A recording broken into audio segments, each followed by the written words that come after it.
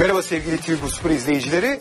Yine gündeme şöyle bir göz attığımız, e, kısa sürede göz attığımız Ters Köşe programına hepiniz hoş geldiniz. Uğur Meleke, Kaan Kural karşınızdayız. Hemen geri sayıma başlıyoruz. İlk konumuz son dönemde e, sürekli iyi haber peşinde olan ve pek istedikleri haberleri bulamayan Galatasaraylılar için bir iyi haber var diyelim. Eren Derdi yok. E, bildiğimiz de bir oyuncu. Galatasaray'ın da ihtiyacı olan oyuncu gibi duruyordu. Yani biraz nokta atış gibi bir en azından ilk izlenim öyle. Sen ne düşünüyorsun? Öyle gözüküyor. Geçen sezon 13 gol, 5 asist. Etkileyici bir istatistik. Ama onun Peki dışında... Galatasaray'ın istediği, istediği türde bir oyuncu mu? Evet tekrar altın çizdin. Ee, bu altın çizmenin nedenini anlıyorum, biliyorum ve katılıyorum. Çünkü Galatasaray'ın özelliği ne? En iyi yaptığı iş ne? Santrafor'un arkasındaki 3 oyuncu Galatasaray'ın galiba en iyi 3 oyuncusu. Şu anda en formda olan kenarlardaki Sinan ve Buruma'yla takımın zaten en pahalı, en karizmatik ve en e, internasyonel oyuncusu Snyder. Bu üç oyuncunun kısa mesafe, orta mesafe, içeri girip vesaire gol atma, asist yapma özelliği var. Galatasaray'ın en iyi yeri orası. Ve Galatasaray'ın alacağı santraforun tek başına 20-25 gol atmak yerine bunları da oynatan türde bir santrafor olması önemliydi. Eren'in özelliği ne? Eren 20 gol santraforu değil. Kariyeri boyunca hiç öyle olmadı. Yani son vuruş çok iyi yapan, çerçeveye her yere iyi vuran, topu nereden atarsan at, dürtmeyi beceren falan bir santrafor değil. Eren'in özelliği takımdaki eksik parçayı iyi tamamlayan, boş koşuları iyi yapan, yüksek topu indirebilen, kuvvetli olduğu için stoperleri fiziksel mücadeleye gidip boşluk yaratabilen bir oyuncu. Kasımpaşa'da da arkasında Scarione'yi çok attırıyordu. Pozisyon e, bulduruyordu Tuna'ya Scarione'ye. Galatasaray'da muhtemelen Sinan Buruma Snyder'a yarayacak. Bu peki Galatasaray'ın gelecek sene daha hücum alanında aktif olacağı, daha hücum alanında yani belki de e, sonuç yani skor açısından değil ama orada çok daha fazla varyasyon yapabileceği, biraz daha böyle seyircinin istediği gibi saldıran takım olacağı şeyini verebilir mi bize? 5 hazırlık maçı oynadılar izledim. En son Aarhus ve Manchester United maçları daha ciddiydi. Santrafor'da önce Berk'i sonra Sinan'ı kullandı. Ee, gördük ki birinci problem oradaymış gibi gözüküyor ama Galatasaray'ın birinci problemi orada değil. Galatasaray'ın birinci problemi orta sahada. Özellikle Manchester United maçında orta, e, ikinci arasında orta saha çok geçirgendi. Çok rahat geçildi. Çok Bu rahat Manchester. United'la alakalı olabilir mi? Ee, Yani şüphesiz onların ki. çok daha dinamik olması. Şüphesiz ki yeni transferleri var. Çok daha kalabalık bir kadroları var. Kulübelerinde oturan adamlara bakıyorsun. Ee, onlar da Premier Lig'de iyi bir takım yapabilir gibi gözüküyor. Sonradan girdiler. Çok iyi bir takım sonradan giren oyuncular. Galatasaray zaten 11 oyuncuyu tamamlayamıyor. Kulübeyle ilgili büyük zafiyet var. Üstelik 11'inde de orta sahayla ilgili zafiyet var. Yani ne Selçuk Cemaili, ne Hamit Cemaili, ne Selçuk Hamit ikilisi o geçirgenliği çözemedi. O yüzden Galatasaray'ın bu hücumdaki etkinliğiyle ilgili soruyu yanıtlayabilmek için önce orta saha ikilisini görmek lazım. Çünkü futbol artık orta sahancının beline bir halat bağlıymışçasına onların kontrolünde, onların zihninde kuruluyor. Oradan oynanıyor oyun. Galatasaray Lucas Leiva ya da artı bir orta sahanın üstü alırsa o zaman derinin fonksiyonu. Eren iyi ama iş bitmedi diyoruz. Devam ediyoruz hemen. Daha da belki de kritik bir noktaya Fenerbahçelilerin pek ümitli başlamadıkları, daha doğrusu kura çekildiği zaman biraz böyle hafif tedirgin oldukları, belki de kendilerini pek favori görmekte e, şeyde eşleşmede ilk maçtan sonra baya baya e, o, bu tur, o tur buraya gelecek diye gitti, e, Monaco'ya gittiklerini görüyoruz ama her ne kadar ben de çok katılıyor olsam da Fenerbahçe'nin çok daha iyi durumda yani daha iyi gözüktüğüne şimdi oradan hani e, tur alıp gelmek o kadar kolay değil. Ama e, ben açıkçası net diyemesem de favori olarak gittiğini düşünüyorum Fenerbahçe'nin. Ben de öyle düşünüyorum. Çünkü daha iyi mi Monaco'dan tartışılır. Şubat'ta Mart'ta bu iki takım oynarsa belki Monaco iki maçta da Fenerbahçe yenilmeyebilir. Ama daha hazır mı? Fenerbahçe daha hazır. Önemli olan da o değil mi zaten? Şu en azından bu tur için. Aynen öyle. Çünkü aktüel performanslar Aynen. belirleyecek. Turun sonucunu, kadro kalitesi, pahası, fiyatı belirlenecek. Aktüel performans belirlenecek. Şu anda Fenerbahçe Monaco'dan çok daha hazır gözüküyor. Monaco bir kaleci problemi. İki, iki tane beki de yeni ve uyumsuz gözüktüler stoperlerle. Mendy ve Sidibe. Üç, iki santraforda yeni kiralıktan döndüler. Fiziksel olarak hazır gözükmüyorlar. Dört, orta sahanın ortasındaki ikili Bakayoko ve Fabinho ikilisi çok kırılgan, çok yumuşak. Galatasaray benzeri Monaco'nun problemi. Yani Fenerbahçe oraları çok rahat geçti. Onlar böyle havadan izlediler geçen topları. Reaksiyon gösteremediler Fenerbahçe'nin hücum planına karşı. E, şüphesiz ki Leonardo Jardim de ilk maçı izledi. Şüphesiz ki bir şeyi değiştirecek. Belki de 4-4-2'den 4-3'e dönecekler. Orta sahaya belki Bernardo Silva'yı takviye edecek. Daha dirençli bir orta saha yapmaya çalışacak ama Vitor Pereira'nın da iyi bildiği iş bu. Yani Vitor Pereira 0-0'ın yaradığı oyunlarda büyüyen bir tek direktör. Ha. O, o zaman büyük avantaj. Ha, bir sıfır yarıyorsa tartışılabilirdi. Ama sıfır sıfır yaradığı için Pereira büyüyen bir tek direktör. Geçen sezon Fenerbahçe'nin çok az gol yiyen bir takım olması, çok az pozisyon veren bir takım olması zaten Pereira'nın kimliği, kişiliği avantajlı gözüküyor. Bu konuda Pereira'yı görüyoruz. Peki sezon başı itibariyle daha henüz uyum o kadar sağlanmamışken e, riskli değil mi biraz böyle nasıl derler skoru korumaya oynamak? Gerçi Fenerbahçe'nin öyle oynayıp, oynayıp oynamayacağını da bilmiyoruz da. Ya transfer planlaması e, o kadar bu oyuna uygun ki. Ha, okey. Ha, sezonun geneli için eksik. Anladım. Ama anladım. 0-0'ı korumak için şu an 31 yaşında 8 yıl Liverpool'da oynamış Şikirteli savunmanın göbeğini alıyorsun. Sağında Fenerbahçe'nin şu an en anahtar oyuncusu, en hazır oyuncusu, oyunun en iyi beyanısı Keyer. Yaşından çok daha tecrübeli. Solunda da Almanya Bundesliga ve Euro 2016 tecrübesiyle gelmiş 28-29 yaşında Neustädter. Bu üçlüyü al. Herhangi başka bu seviyede takıma koy. Schalke'ye koy. Tottenham'a koy. Porto'ya koy. Yine bir gün onu idare edebilecek kadar iyiler, tecrübeliler, uyumlar. Yani transfer politikası da buna çok uygun şu anda. Fenerbahçe için bu tur e, Monaco'ya göre %51 daha fazla cepte gibi gözüküyor. Bu Belgelerimizi bizim isteğimizin ötesinde beklentimiz de diyebiliriz tur olması o zaman. Tarafsız bakabildiğimi düşünüyorum. Ya Ben de ben çünkü %99 hem fikrim seninle ya. Ee, hemen buradan başka bir e, futbolla başka bir konuya gidelim. İlginç bir nokta var. Biz e, belki Türkiye'de çok çok uzun süre çalışmadı ama çok güzel bir iz bıraktı. En azından yani e, tarafsız bakanların gözünde çok güzel bir iz bıraktı Slaven Bilic. Fakat gittikten sonra bile çok gündem olmayı sürdürüyor. Gerek West Ham'da yani gerek İngiltere Premier Lig'de yaptıkları gerekse son dönemde e, bu da orayı unutamamış gibi sürekli Türkiye'de oynamış. Türkiye'de belli bir yerlere gelmiş. Kendi beğendiği oyuncuların adı anlamı. Bunun şimdi bir kısmının ben açıkçası biraz menajer üfürmesi olduğunu düşünüyorum. Çünkü biliyorsun yani menajerlerin doğası gereği daha doğrusu iş tanımları gereği sen ben menajer olsak da aynı şeyi yapacağız. Oyuncuların piyasasını artırmak için bir takım dedikodular çıkarırlar. Oyuncunun atıyorum mesela üst düzey bir oyuncu var Real Madrid istiyor diye bir dedikodu çıkarsa onun değeri birken bir buçuğa çıkar. Bu çok normal Ama bir Real şey. yani. Madrid gerçekçi olmayacağı için West Ham dedikodusu çıkar. Mesela. Çünkü orada Bilic var. Aynen her oyuncunun ölçeği ölçeği farklıdır. Gerçi bunların ben bir miktarının yani West Ham bağlantılı, Bleach bağlantılı transfer dedikodularının bir kısmının biraz menajerlerin işin pazarlamasının olduğuna inansam da Bleach'in bir şekilde Türkiye'de e, iyi izlenim edindiği, tanıdığı oyuncuların e, gerçekten istediği ve almaya çalıştığı da ortada. E, burada mı gözü acaba Bleach'in? Yoksa ama İki dünya... boyutu var işin. Premier Lig'den geçen sezon küme düşen Aston Villa'nın yayın havuzundan aldığı pay 100 milyon euro düzeyinde. Evet, Şampiyonlar şampiyonu Real Madrid'in UEFA'nın aldığı payın daha üzerinde. M- NBA şeyi bu ya. NBA mantığı işte. Evet, e, futbolun NBA'yi Premier Lig çünkü. Dolayısıyla şaşırıyorum biraz. Hani Bilic'in arama tarama ekibi o kadar güçlü değil galiba diyorum. Ben zaten Türkiye Ligi'nden oyuncu almanın e, iyi bir alışveriş olduğunu düşünüyorum. Çünkü Türkiye Ligi oyuncuların ücretlerinin hormonlandığı bir lig. Evet. O yüzden Türkiye Ligi ile alışveriş yapmak e, bu otomotiv alışverişi gibi. Yani otomobiller Türkiye'de nasıl Avrupa genelinden daha pahalıysa, yani daha kaliteli ve daha iyi bir otomobil olabilir burada ama daha pahalıysa Türkiye Ligi'ne alışveriş yapmak çok iyi bir fikir gibi gelmiyor bana. Ben de öyle düşünüyorum ama bir taraftan da bakıyorum. e, Türkiye pazarı bakir bir pazar. Yani Türkiye'de gerçekten iyi oyuncular oynadı, oynuyor, oynayacak ve batıya bir türlü Batı Avrupa'ya, Batı Avrupa liglerine açılmanın yolunun metodunu bulamadık. Son dönemde doğuya açıldık. Çin'e, Hindistan'a, Katar'a iyi fiyata oyuncular yerli veya yabancı satıyoruz. Batıya açılmanın bir yolunu bulamadık. Batıya açılmanın yolu bir dönem John Benjamin Toşak Doğru. olmuştu. Sanki bu dönemde Slaven Bilic gibi oluyor. Bir taraftan da anlıyorum. Yani eğer bu ligde bu kadar az kaliteli oyuncu olsaydı bu ligden Avrupa Ligi'nden gruplardan çıkan bir takım 2008'de yarı final oynayan bir milli takım işte şampiyonlar çeyrek final oynayan bir takım çıkmak demek demek ki var. Bir nüve var ama bu nüveyi batıya göndermek, ihraç etmek konusunda başarısızız. O pencereden bakınca da Bilic'i anlıyorum. Hak veriyorum. E Beşiktaş'ta tek direktör konusunda zaten e, son dönemde çok hareketli. Şimdi basketbolda da e, bir hareket söz konusu. Şimdi ben akışta gördüm. E, Bilic'i gönderdiler. Basketbolda tek direktör değişti olmuş. Ufuk Sarıca daha önce Beşiktaş'ta çalışmıştı. Evet. Bilic'in de öyle bir ihtimali olabilir. Tekrar dönüşü Bilic dönerse bence iyi olur. Ufuk Hoca dönünce iyi olur mu mesela onu merak ediyorum.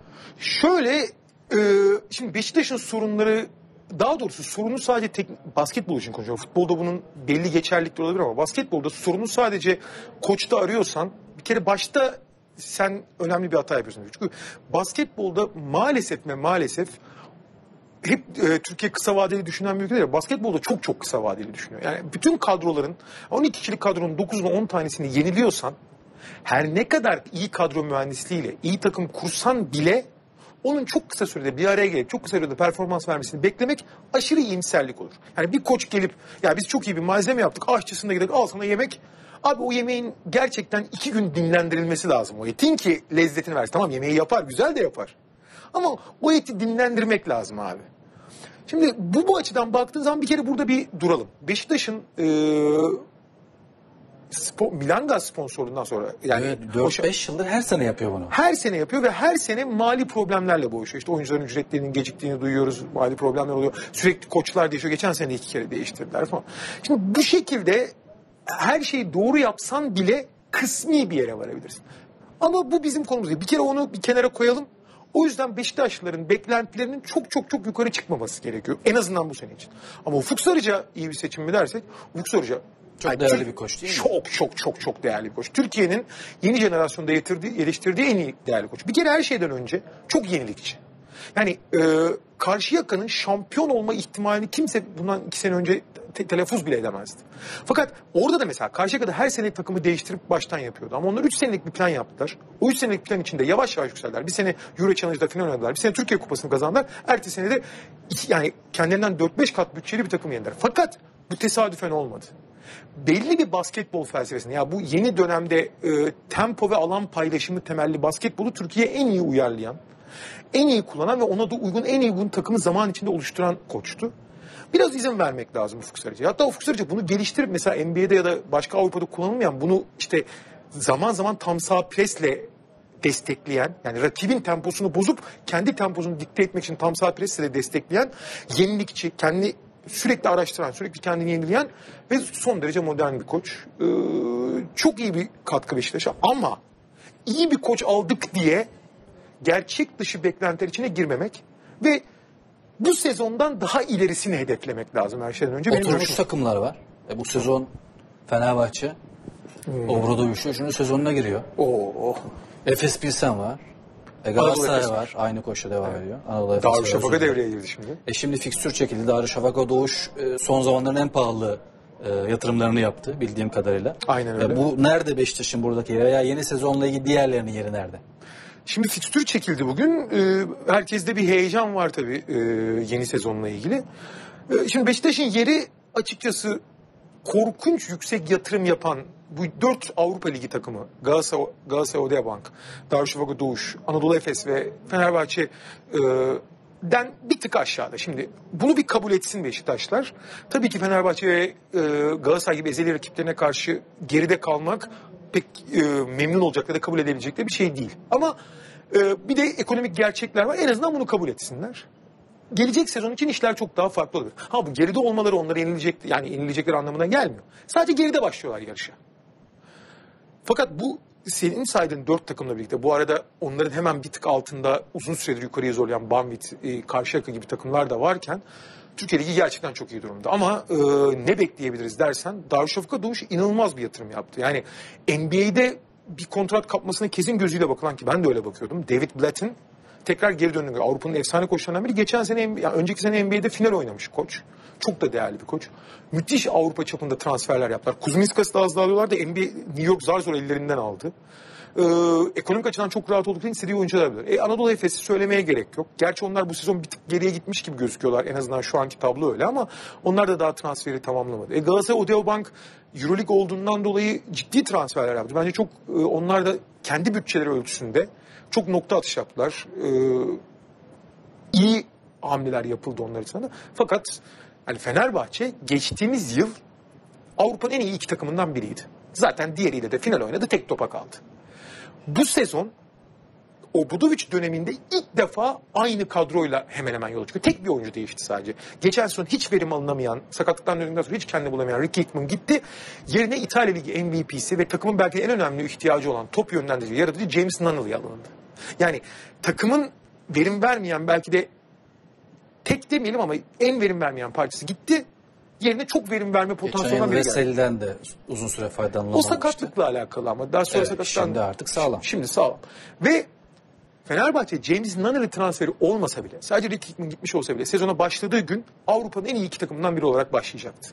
Şimdi Nunnally'nin e, takımın eksiklerine getirebileceği katkıyla da düşünüldüğü zaman gene CSK ile birlikte bir, Avrupa'nın bir numaralı takımı olarak başlıyorlar. O yüzden de zor. Türkiye Ligi çok zor. Gerçekten çok ciddi rakipleri var ama e, Fenerbahçe herkesten bu sefer e, bir, bir hatta bir buçuk adım önde gibi. Yani. Basketbolda yine daha çok var da olimpiyat geldi. Geldi. Kapıda. Geldi kapıda da. Federer yoktu. Şimdi Nadal da mı yok artık? Valla Nadal gitmiş bu arada şeye Brezilya'ya ama oynayıp oynamayacağı henüz belli değil. Ben sabah okuduğum kadarıyla öyleydi. Ee, çok uzun süredir sakatlıklarla boğuşuyor zaten. Ya zaten onun bir tane şeyi var. Olimpiyat altını var. Yani bence e, sakatken kendini zorlaması çok iyi bir fikir olmayabilir. Ha, gerçi ne kadar tabii kendi daha iyi biliyordur kendi sınırlarını, sakatlığının ölçeğini. Ama e, ben oynayamayacağı kanaatindeyim şahsen. Ki tenisteki olimpiyat algısı başka sporlardaki olimpiyat algısından biraz farklı. Tabii. Tenisin en büyük turnuvası değil olimpiyat. Değil. Tenis ve Amerikan şey e, futbol dışında her yani tenis ve futbol dışında dünyada sporun zirvesi şeyi saymıyorum tabii. Beyzbol, Amerikan futbolu gibi kendi profesyonel olan ve globallikten biraz uzak olan bir de kriket gibi sporları saymıyorum. Ee, daha globalize olmuş sporlar arasında bir tek futbol ve tenisin zirvesi değil olimpiyat. Mesela basketbolun zirvesi sonuç itibariyle. Ee, o konuda haklısın ama ama e, ne olursa olsun tenis aynı zamanda mesela futbolun olmamasını anlayabilirim ama tenis bireysel bir spor olduğu için de bireysel anlamda da her sporcunun rüyasıdır olimpiyat şeyine platformuna çıkmak.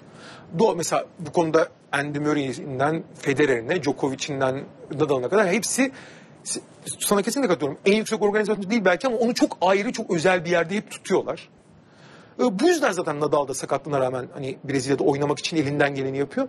Fakat ben çok yakın görmüyorum oynama ihtimaline. Bence oynayamayacak. Yani eğer oynayabilecek durumda olsaydı zaten şu ana kadar bence e, daha olumlu mesajlar verildi. Yani elinden geleni yapıyor ama yetmeyecek gibi bir algı var tabii. Peki Nadal yok. Tamam Federer artık en üstü olmasa da en iyilerden bir tanesi. O da yok. Varsayalım ki Nadal da yok.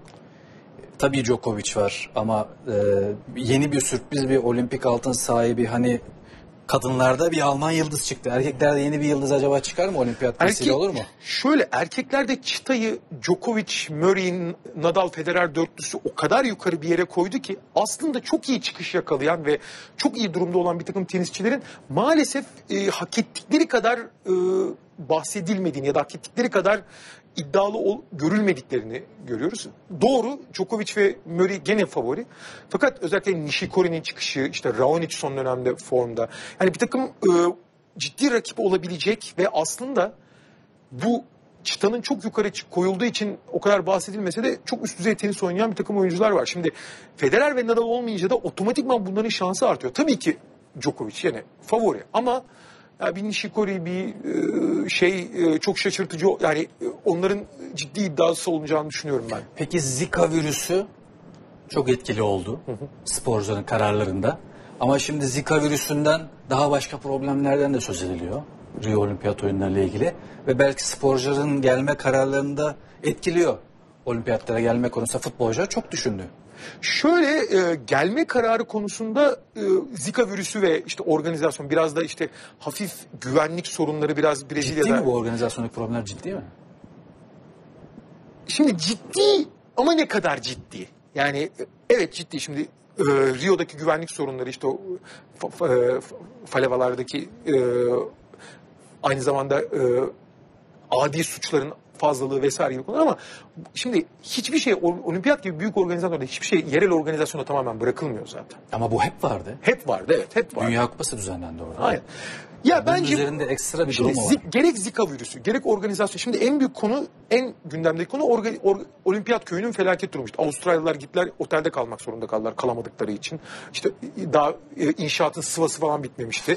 Ama abi klasik bunlar yani. Biz Türk olduğumuz için Atina'da da benzer şeyler vardı. Brezilyalılar da bizim mantığımızda bir iş- işleri biraz son güne bırakıyorlar. Ha beklenen standartların biraz altında mı? Evet ama dediğim gibi bunların standartlarını IOC ve organizasyon komitesi Brezilyalara sadece bırakmıyor. Bu uluslararası bir organizasyon olduğu için bunun denetleme mekanizmaları da, yatırımları da, parası da belli bir yerden geldiği için belli bir standartın üzerinde olacak kesin.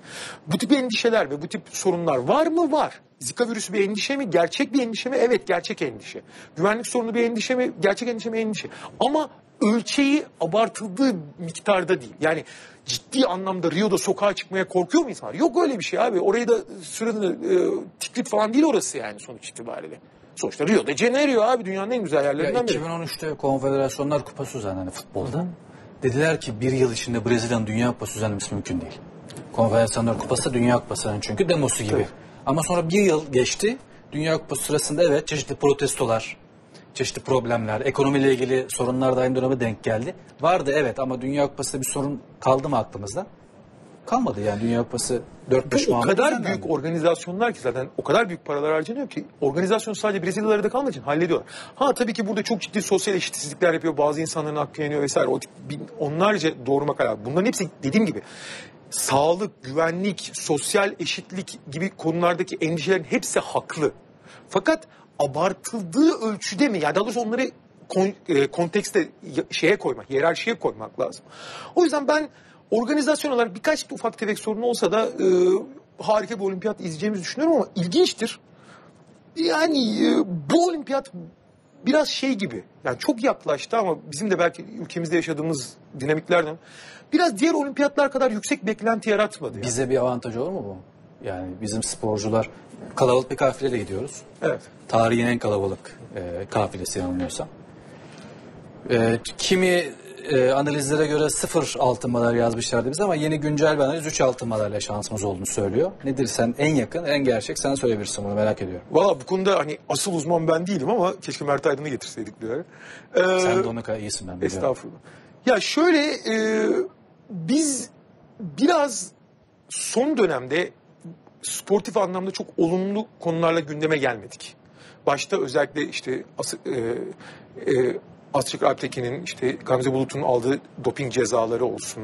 E, halterde çok uzun süre başarılı olduktan sonra aldığımız takım halinde cezaları, doping cezalarımız olsun. E, sportif anlamda, bireysel sporlar anlamında zaten hani yüzme ve jimnastik gibi diğer sporlarda o kadar iyi değildik ama biraz daha kabuğumuza çekildik gibi. E, ve bence Atletizm Federasyonu burada çok tuhaf ve benim çok kabul etmediğim bir şey yaptı birçok devşirme sporcu edindik ve son Avrupa Şampiyonası da çok çok çok başarılı olduk. Mesela Abartıldı mı diyorsun? Ya- Değişme politikası.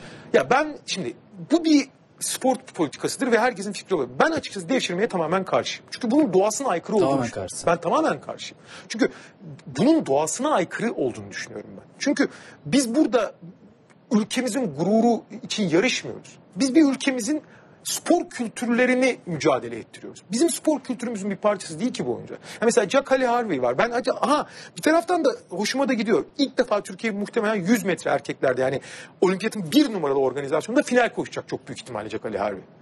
İnşallah tabii hani her şey yoluna gel. 100 metre finali koşmak çok büyük olay çünkü. Ama a, bu adam Jamaikalı. Jamaika'da doğmuş, büyümüş.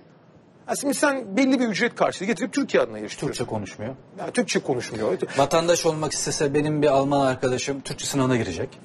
Ama bu sporcular özel bir maddeden dolayı Türkçe konuşmadıkları halde çok süratli bir şekilde vatandaş olabiliyorlar. Ve yani vatandaş olsa bile şey ya senin Türkiye'nin yetiştirdiği bir e, spor Türk spor kültürünün bir Ben parçasından orada gelmek. biraz senden ayrılıyor fikrim. Yani Türkiye vatandaşı olmak istiyorsa bir insan bunu engellemeli misin? Yok engellemem ben. Türkiye vatandaşı olmak ben istiyorsa olmalı. engellemem ama O Türkiye, koşulları sağlıyorsa. tamam ama Türkiye'yi 100 metrede temsil etmesini istemem ben. 100 metre temsil edilmeli abi. Atletse atlet. Türkiye vatandaşı olmak istiyorsa olmalı. Ama Türkiye vatandaşının anayasayla belirlenmiş bir takım koşulları yok mu? Var. O koşulları yerine getirsin diyorum ben. Ha, evet. Onlara getirirse mesela Türkçe konuşmak gerektiği kadar.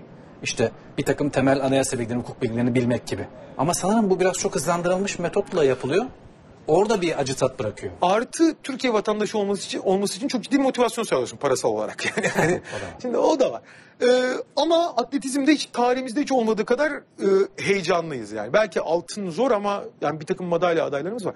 Diğer tarafta tabii ki geleneksel olarak güreş ve tekvandoda özellikle madalya e, beklentilerimiz var. Halterde pek yok çünkü halterde gene belli cezalar var ve belli e, daha yeni yeni o cezalardan kurtulup takım halinde cezalardan kurtulup katılmaya başladık. E, geniş bir kafileyle gidiyoruz ama mesela bir taraftan da sevindirici şeyler var. Ben mesela kadın basketbol takımımız muhtemelen madalya alamayacak. Ama oraya defalarca katılıyor olması çok önemli özellikle Harika. basketbolda. Harika. Bir sonraki programda bu devşirme konusunu daha geniş konuşalım. Daha geniş konuşalım. Bu konuşmak lazım. Aynen öyle.